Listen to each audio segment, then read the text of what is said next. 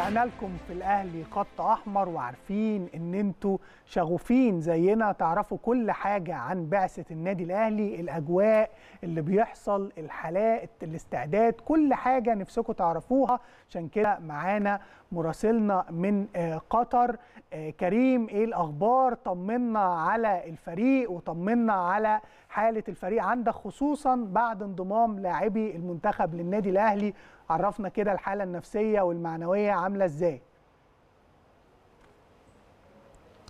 تحياتي ليكم طبعا زملائي الأعزاء برحب بيكم طبعا في البداية والشكر موصول والتحية موصولة أيضا كمان لكل جمهورنا جمهور النادي الأهلي اللي بيتابع كل الكواليس وكل الأخبار من خلال شاشتنا شاشة قناة النادي الأهلي. كل الجمهور الحقيقة مترقب ويعرف أخبار الفريق وأيضا كمان تحديدا كل اللعيبة اللي يمكن انضمت خلاص من لحظات لبعثة فريق النادي الأهلي استعدادا للسوبر الأفريقي يوم الأربعاء إن شاء الله. بإذن الله تكون البطولة من نصيب النادي الأهلي. جدية كبيرة جدا وإصرار كبير وعزيمة إن شاء الله بنشوفها في التدريبات وأجواء خاصة لمعسكر فريق النادي الأهلي.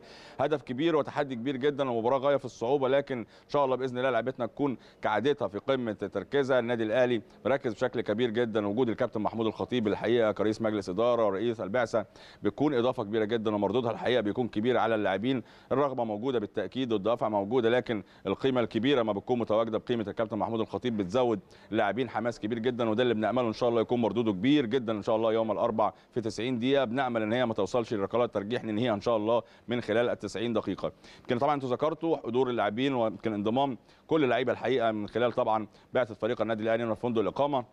أنا عايز اطمنكم بشكل عام طبعا لأن يمكن كنت بتكلم على الحالة النفسية والدور الكبير اللي المفروض يقوم بيه الجهاز الفني لكل اللعيبة الحقيقة. يمكن كان إخفاق طبعا زي ما إحنا عارفين لمنتخبنا الوطني لكن لاعبتنا تحديدا لعيبة النادي الأهلي أدت اللي عليها وزيادة. جهد ومجهود وإصرار والكل كان بيضحي الحقيقة من خلال منتخبنا الوطني لكن قدر الله ما شاء فعل. عندنا بقى الأهم دلوقتي طبعا خلاص نقدر نقول انتهت الصفحة الخاصة طبعا منتخبنا الوطني والأهم هو التركيز في بطولة السوبر الأفريقي. عايز أقول لك مباشرة عقب وصول اللاعبين يعني أقول لك بيتسو موسيماني وقف مع عمرو السولية أكتر من أربع أو خمس دقائق الراجل يمكن حياه وهناه على مجهوده الكبير جدا. وقال له أنا بقول لك hard luck لأن الظرف ويمكن الكورة اللي أنت أخطأت فيها عمرو دي حصلت مع موسيماني تحديدا. ويمكن الكلام ده من خلال موسيماني في الأحاديث طبعا اللي كانت ثنائية بين عمرو السولية. وقال له الأمر ده متواجد في كرة القدم لكن تحسب البطولة ليك يا عمرو بشكل كبير جدا على مجهودك وإصرارك ككابتن فريق منتخبنا الوطني. ده تحديدا بالنسبة لعمرو السولية. الشناوي طبعا كان عيد ميلاده النهارده اللي بنقول له كل سنة طيب يا شناوي طبعا وعقبال مليون سنة. مجرد دخوله المطعم شناوي وكابيلو وموسيه مخطط الأحمال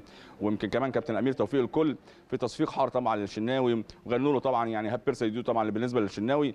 حاجة بتبقى لفتة كبيرة جدا وطيبة جدا من الجهاز الفني لأن الجانب النفسي الفنيات موجودة ويمكن اللعيبة جاية من فورمة عالية جدا لكن الجانب النفسي مهم جدا إن أنت تشتغل عليه والجهاز الفني تحديدا يشتغل عليه. الحقيقة كابتن سيد مميز في هذا الأمر لكن شفنا موسيماني الحقيقة وكابيلو وموسيو وأيضا كمان كل الجهاز الفني الحقيقة في لفتة طيبة جدا لمحمد الشناوي. الكل بقى حقيقة أكرم توفيق أيمن أشرف قفشه محمد شريف تحديدا كمان اللي جمعوا لقاء بين الكابتن سيد عبد الحفيظ والكابتن سامي قمصان اتكلموا طبعا على خلاص لابد إن أنت تنسى هذا الأمر وتنسى إضاعة ركلة الجزاء وتركز فيما هو قادم لأن الجمهور اللي إحنا شفناه في المدرجات هيكون نفس الجمهور. الجمهور كان مرتدي تيشيرتات منتخبنا الوطني وتيشيرتات مصر لكن يوم الأربعاء الكل هيكون مرتدي تيشيرتات النادي الأهلي ويكون الجمهور بكثافة كبيرة جدا. قفشه الحقيقة كان ليه أيضا كمان لقاء سريع معاه طبعا قبل توجهه طبعا إلى الغرف.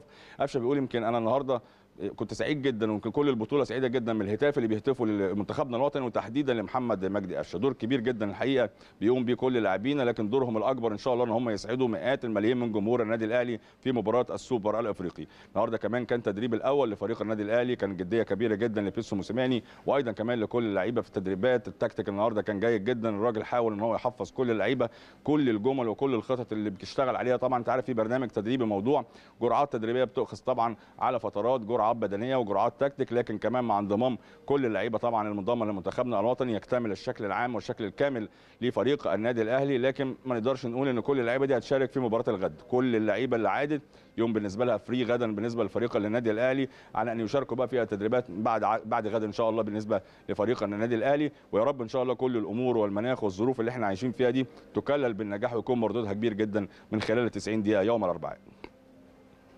يا رب يا كريم ويا رب يكون وشك حلو كده زي بعثة الأهلي وكايزر تشيفز وإن شاء الله النادي الأهلي يحقق البطولة مجهود عظيم وغطيت غطيت كل الأحداث. إن شاء الله بإذن الله قناة النادي الأهلي متابعة ومستمرة معاك باذن الله نحقق البطولة يا كريم.